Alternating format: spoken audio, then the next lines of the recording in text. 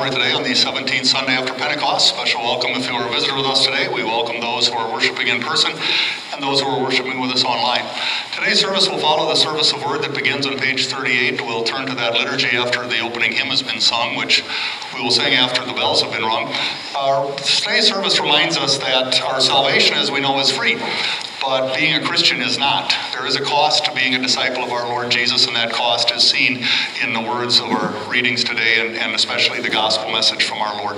We'll begin our service then with the ring of the bells, and then join to sing the opening hymn, hymn 466.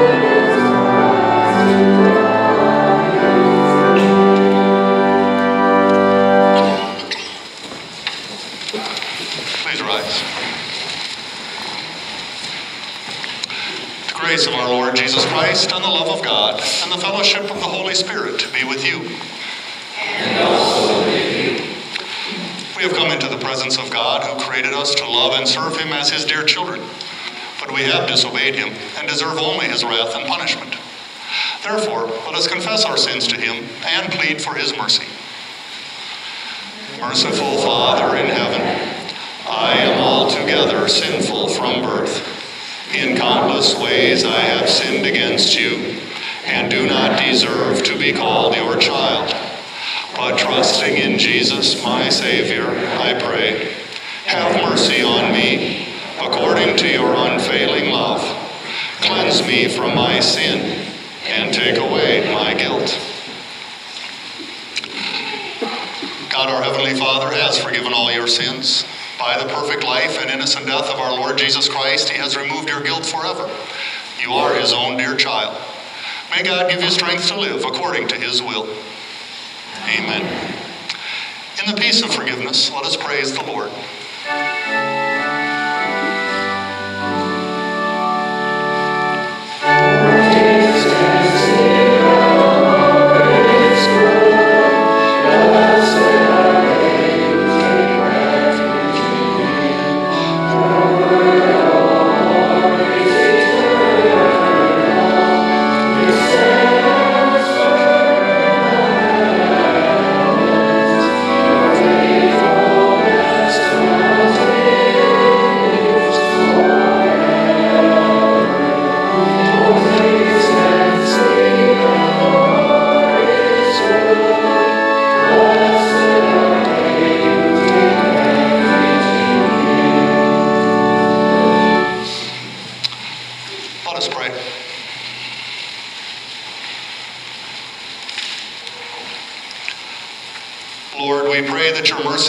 Grace may always go before and follow after us, that loving you with undivided hearts, we may be ready for every good and useful work through your Son, Jesus Christ our Lord, who lives and reigns with you and the Holy Spirit, one God, now and forever.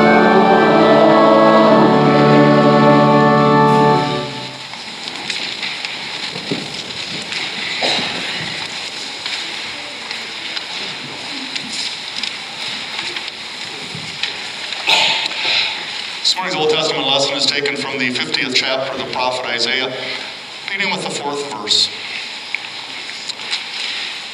The Lord God gave me a tongue like the learned, an instructed tongue, so I know how to sustain the weary with a word. He wakes me up morning by morning. He wakes up my ears so that I listen like the learned. The Lord God opened my ear, and I myself was not rebellious. I did not turn back. I submitted my back to those who beat me, and my cheeks to those who pulled out my beard. I did not hide my face from disgrace and from spit. The Lord God will help me, so I will not be disgraced. Therefore, I have made my face hard like flint. I know that I will not be put to shame. The one who will acquit me is near. Who can accuse me? Let us take our stand. Who can pass judgment on me? Let him approach me. Look, the Lord God will help me. Who then can declare me guilty? Look, all of them will wear out like a garment. A moth will consume them. Who among you worships the Lord and listens to the voice of his servant?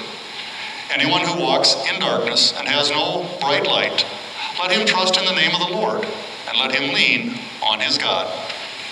This ends the Old Testament lesson. The psalm for this morning, Psalm 116, is found on page 107 of our hymnals. We'll sing the verses and refrain to Psalm 116.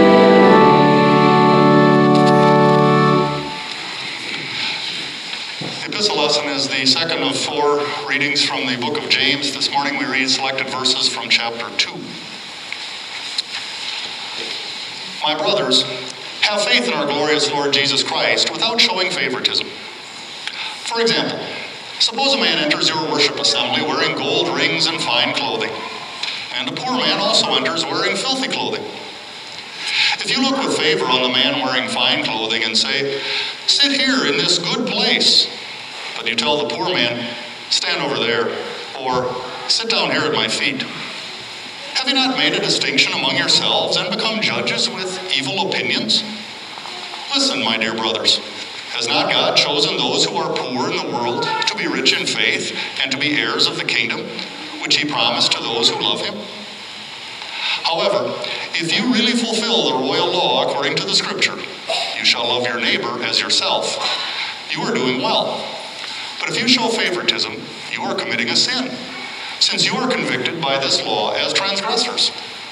In fact, whoever keeps the whole law but stumbles in one point has become guilty of breaking all of it.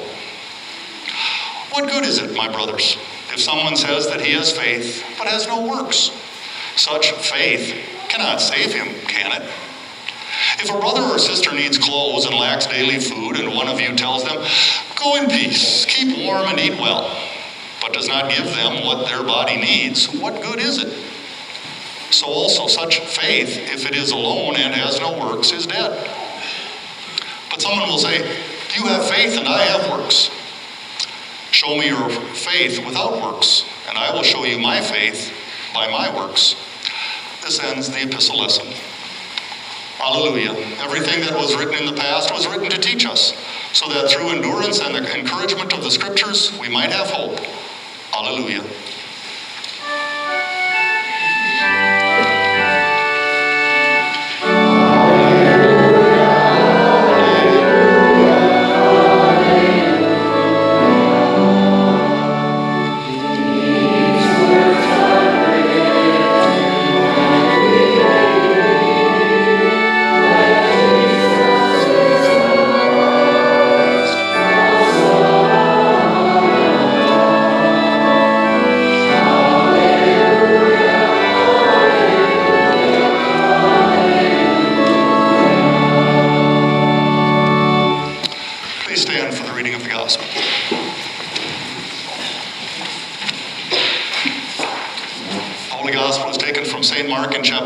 beginning with the 27th verse. Jesus went away with his disciples to the villages of Caesarea Philippi. On the way, he asked his disciples, Who do people say that I am? They told him, John the Baptist. Others say Elijah. And still others say one of the prophets. But who do you say I am? He asked them. Peter answered him, You are the Christ. Then he warned them not to tell anyone about him. Jesus began to teach them that the Son of Man must suffer many things, be rejected by the elders, the chief priests, and the experts in the law, be killed, and after three days rise again. He was speaking plainly to them. Then Peter took him aside and began to rebuke him. But after turning around and looking at, at his disciples, Jesus rebuked Peter and said, Get behind me, Satan. You do not have your mind set on the things of God, but the things of men. He called the crowd and his disciples together and said to them, If anyone wants to follow me, let him deny himself, take up his cross, and follow me. For whoever wants to save his life will lose it, but whoever loses his life for my sake and for the sake of the gospel will save it. This ends our gospel lesson.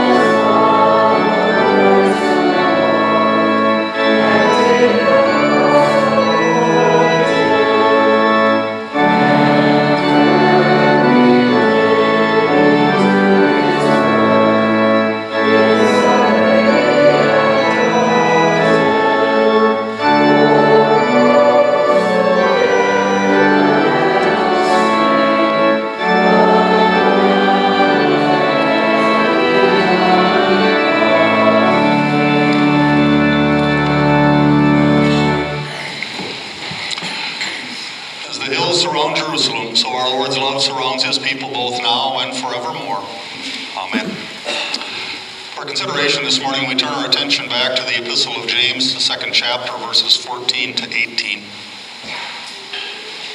What good is it, my brothers, if someone says that he has faith but has no works? Such faith cannot save him, can it?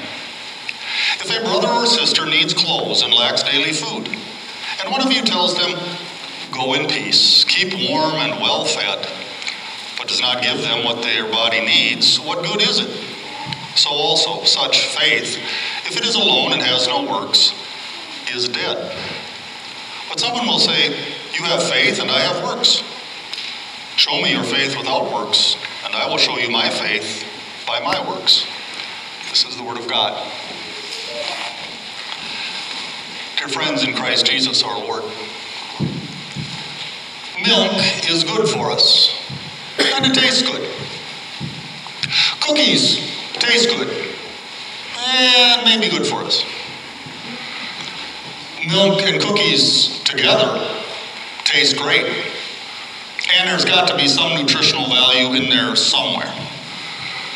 They just are two things that seem to go better together. A nice tall, cold, tall, cold glass of milk and a, a warm, gooey chocolate chip cookie. It's a great combination. A cookie that's not so gooey, maybe been around a little while, can come in nice and handy when that milk is there. You can dunk the cookie in, soften it up, great flavor. Milk and cookies are good. Milk and cookies are better when they're put together. Faith is good. Faith is necessary. Works can be good. Faith and works are better together. What is faith? The Bible defines faith as being sure of what we hope for and convinced of that which we do not see. Faith is believing in Jesus as our Lord and Savior, a Jesus whom we've never seen, whom we've heard about, whom we are convinced has done everything necessary for salvation. How can one have faith?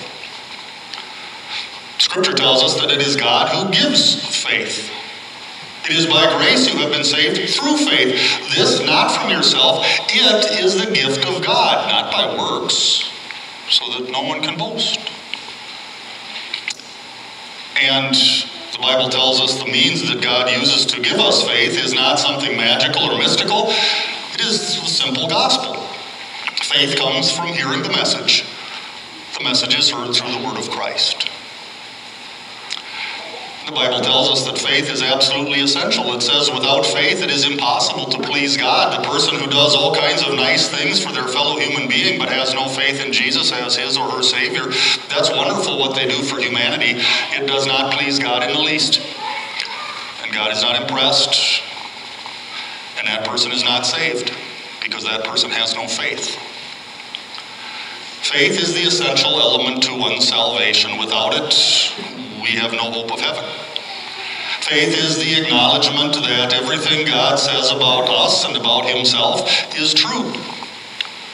Faith is the implicit and explicit trust that everything necessary for our salvation has been done by Jesus Himself and that we simply receive it as a gift from God. Faith is one of those abstract theological things we can't see it. It's in the heart. It's given to us by God, but you couldn't put your finger on it. It won't show up on an x ray. But it is absolutely essential. And of course, the object of our faith is absolutely essential and important too. We can have faith in many things, but that doesn't mean that it's well placed trust. I might have faith in my own abilities to do things, but experience teaches me, and should anyway, that I'm incapable of doing the things I think I can. My faith for salvation needs to rest upon Jesus, the only source of salvation, as he said through the Apostle Paul. Our faith is built upon the foundation of the apostles and the prophets. Jesus Christ himself is the cornerstone of that foundation. And everything that he taught is necessary. That's what one's faith is. And James does not deny that. He doesn't dispute that. He doesn't try to present an alternative to that. He says that's simply the way it is. Our faith is that explicit and implicit trust that everything necessary for my salvation Jesus has done. And man, does that make life easier. I don't have to get up and worry how many good things I'm going to do today to make God love me because God loves me in Christ. I don't have to lose a lot of sleep at night over all the bad things I've done in the past or the good things that I failed to do because all of those sins have been taken away from me by Jesus Christ, and God says so. Faith simply receives that promise that God gives us that all of our sins are gone. As far as the east is from the west, He has removed our transgressions from us. That's a wonderful thing to have that faith, to know that there's nothing I have to do to earn God's favor, makes life a lot easier, doesn't it? Because otherwise, how would we know if we've done enough? How would we know if our scorecard balances out? Because we have done some bad things, we'll have to admit that. I mean, honesty just compels us to do that. So I suppose I'd better get busy and offset those bad things with some good things. But how do I know when the scales are even? They never will be if it's up to me. But faith tells me it's not up to me, that Christ did it, so the scales tip decidedly in my favor, and I am forgiven. But James tells us that that faith is never going to be all by itself. As Lutherans, we're familiar with the phrase sola fide, by faith alone. Through faith alone. We are saved through faith alone. The fact is, faith is never alone. Faith is always going to be followed by good works. And that's what James encourages his readers to realize. That faith is what saves, faith alone is what receives every blessing of God, and that faith is never going to be all by itself, because where there is faith, there will be good works. Think of your family for example. Where there is love, there will be evidence of that.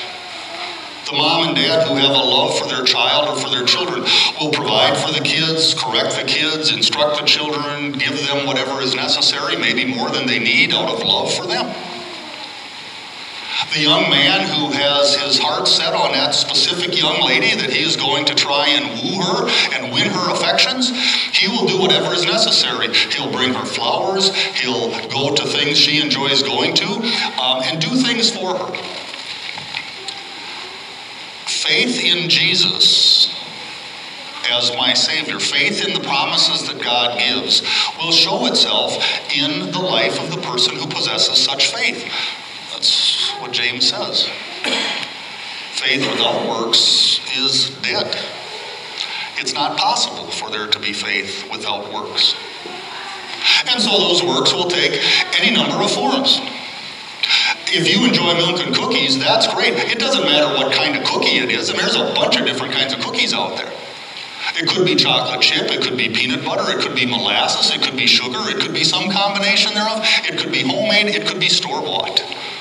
It could be white milk, chocolate milk, skim milk, whole milk, almond milk, for crying out loud.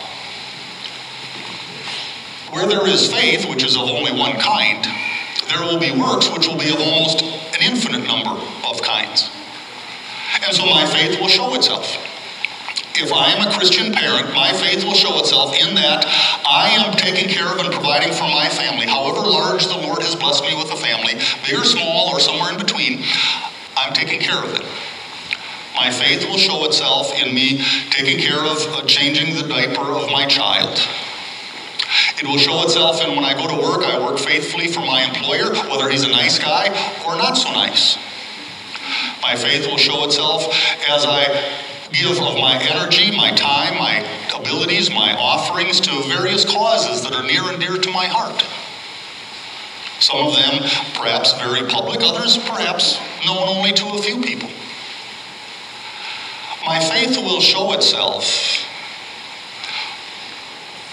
when I live that faith. Now, that's not always going to be easy. I mean, it, it's easy to love love my kids, at least most of the time, because my kids love me, at least most of the time. It's not hard to work faithfully for my boss because every week or two weeks he gives me this piece of paper that has a bunch of numbers on it, and that means I get some money from him. But what about showing my faith in Christ by my Christian life? A pastor once said that becoming a Christian is the easiest thing there is because it's all the work of God. We don't do a single thing to become a Christian. God did everything. Being a Christian is the hardest thing you'll ever do, that same pastor said. Because being a Christian means living your faith, doing what Jesus said. If anyone wants to follow after him, there's going to be trouble and hardship. And some of the fruits of faith are going to be that I'm going to maintain my faith, even in the face of all kinds of criticism. That I'm going to live differently from the world in which I live that when the world says, you know, it's okay to do this, I not, won't necessarily do that or this. Because my faith says, no, that's not okay.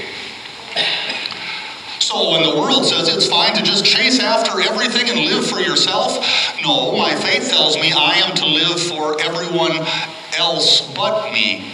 God first, my neighbor second. Me way down the list somewhere.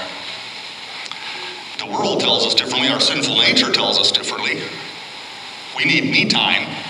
Our nature tells us we gotta have some me time. God's word never tells us anything about me time. He says to live for others. Love the Lord your God with all your heart, with all your soul, with all your strength, and with all your mind. Love your neighbor as yourself. Never does say anything about loving yourself faith shows itself in how I live. Now, our fruits, of course, will be as different as we are. It would not be accurate or fair for us to say that every person who confesses his or her faith in Jesus will be, therefore, bringing forth the exact same good works in the same uh, amount. Some of you perhaps are headed over to the other side of the river today for Applefest. Maybe you were there yesterday. You don't have to go to that side of the river. There's parts on this side that also have apple trees. And you know that as you look at the apple trees in the various orchards, you have all kinds of different apples. Different types of trees give you different kinds of apples. You can go to the store if that's where you feel the apple originated from. And in that bag, you can find, you know, Granny Smith and Red Delicious and Gala and any number of other apples. They're all apples, but they're all different. Christians produce good works. They're all done out of faith and love for God and for their fellow man, but they're all going to be different. And so, what you do as a good work may look very much different from what your brother or your spouse or your child or your parents do as good works. Or what I do will look very vastly different, perhaps, from what you do. That's fine. They're all good works. They're just different because we're all different Christians in different situations. James doesn't tell us what our good fruits ought to, good works ought to be He just simply says they should be there. They're the natural result of one's faith. Could you have milk without cookies? Oh, certainly. I do it all the time. Could you have cookies without milk? I suppose so. Substitute a cup of coffee, a cup of hot tea, whatever you want. But milk and cookies certainly do go well together. Could you have good works without faith? Well, then they wouldn't be good, at least not in the sight of God. They would benefit others perhaps and make you feel good about yourself, but that's it. They would do nothing else. Could you have faith without works? No, not really. Because where there is faith, there will be good works of some sort to some degree. Because they're simply better together. And so, as you and I confess our faith in Jesus as our Savior on a regular basis, not just in church, but in our daily lives, we will also then want to bring forth good works, which demonstrate that faith in our Savior on a daily basis. Because our faith is essential, and works are beneficial. By themselves, they're good, but they're better together. Amen. Please rise. And now may the peace of God that passes all understanding keep your hearts and minds through faith in Christ Jesus. Amen. Now join to confess the Christian faith with the words of the Apostles' Creed on page 41. I believe in God, the Father Almighty, maker of heaven and earth. I believe in Jesus Christ, his only Son, our Lord, who was conceived by the Holy Spirit, born of the Virgin Mary, suffered under Pontius Pilate, was crucified, died, and was buried. He descended into hell. The third day he rose again from the dead. He ascended into heaven and is seated at the right hand of God the Father Almighty. From there he will come to judge the living and the dead. I believe in the Holy Spirit, the holy Christian church, the communion of saints, the forgiveness of sins, the resurrection of the body, and the life everlasting. Amen. Please remain standing as the offering is brought forward.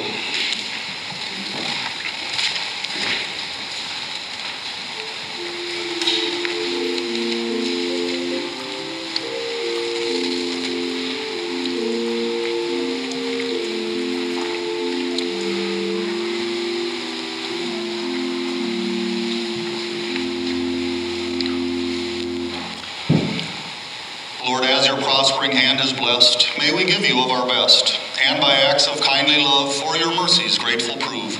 Singing thus through all our days, praise to God, immortal praise. Amen.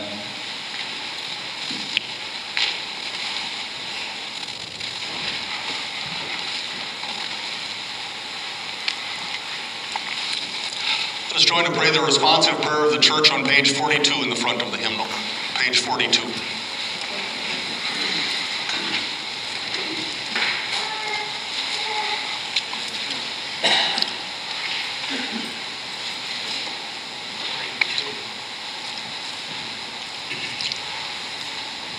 Lord God, our Maker and Preserver, we praise and thank you for all that you give us day after day.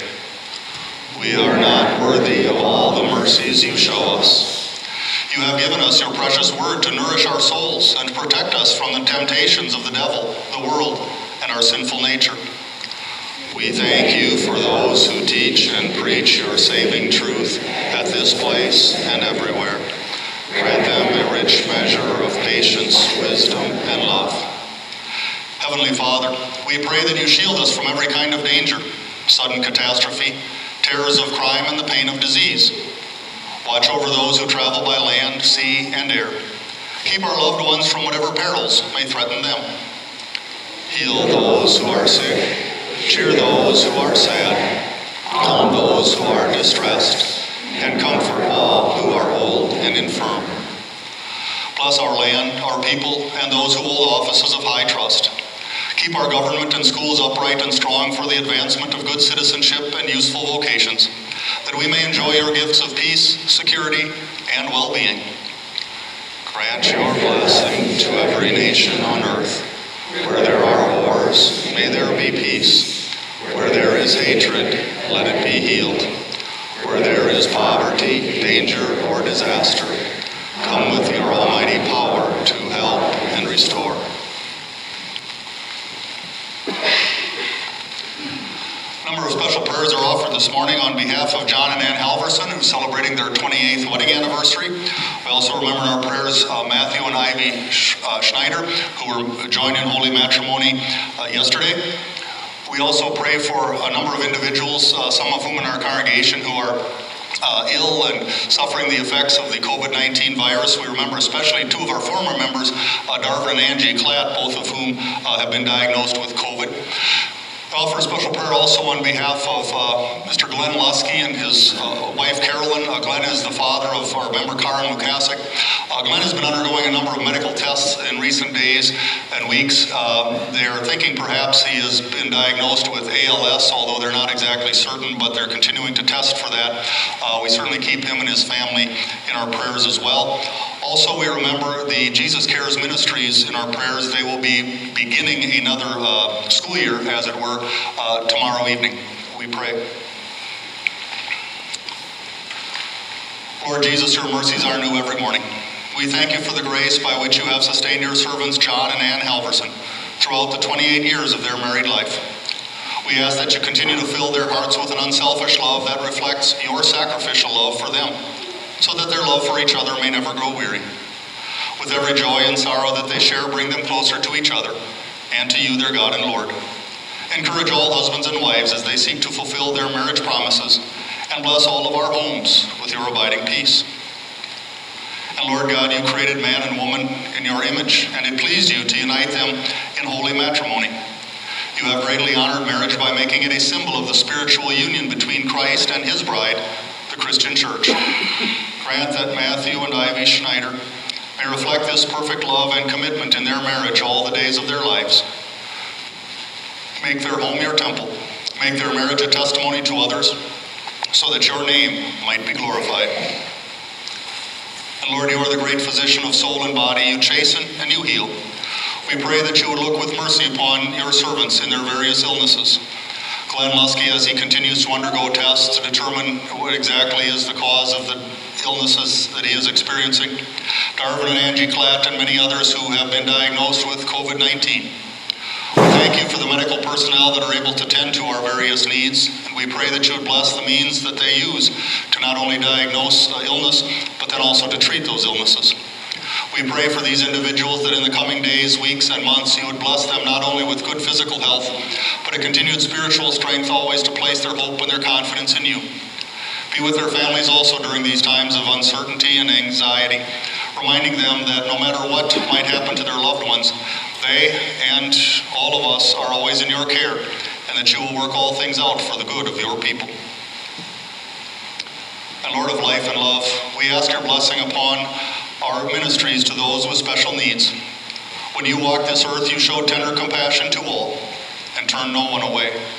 Help us to reflect your gentle compassion as we strive to serve those who have special needs.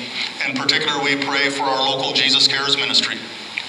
Give those who teach, those who learn, wisdom, ability, patience, and resources, so that the good news might be communicated effectively to those who sit in the classroom, regardless of their circumstances. Encourage us with your promises that whatever we do for others, we do for you, and bring us at last to the sinless perfection of our eternal home with you in heaven. And we pray that you would now hear us as we bring you our private petitions.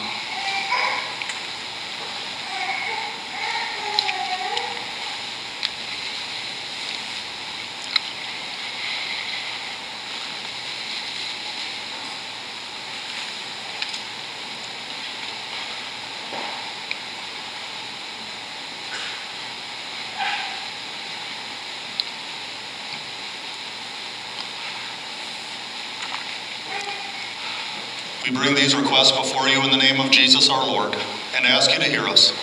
Take all that we have, our bodies and minds, our time and skills, our ministries and offerings, and use them to your glory. We give ourselves to you that we may serve you in whatever way is pleasing in your sight. Amen. Our Father in heaven, hallowed be your name. Your kingdom come. Your will be done on earth as in heaven. Give us today our daily bread. Forgive us our sins as we forgive those who sin against us. Lead us not into temptation, but deliver us from evil. For the kingdom, the power, and the glory are yours, now and forever. Amen. Please be seated for our next hymn.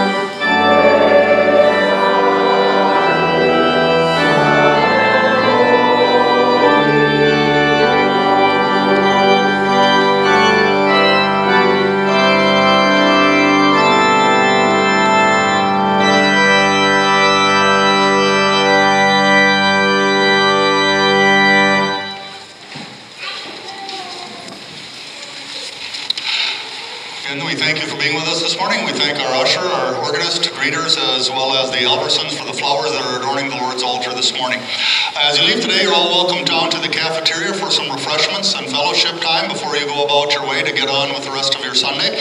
Uh, all, and plenty of things down there, so please do take a few moments to come down and enjoy them. Uh, also, as you leave today, in the entryway between the doors, there are some vegetables. I believe it's uh, zucchini, so help yourself. I don't believe the person who brought them wants to take any back, so by all means, help yourself. There is also some bags out there for you to put them in. A number of items in the parish notes. In particular, two weeks from today will be our Harvest of Blessings, so we will be collecting uh, the non-perishable food items and other household things to be taken down to the seminary.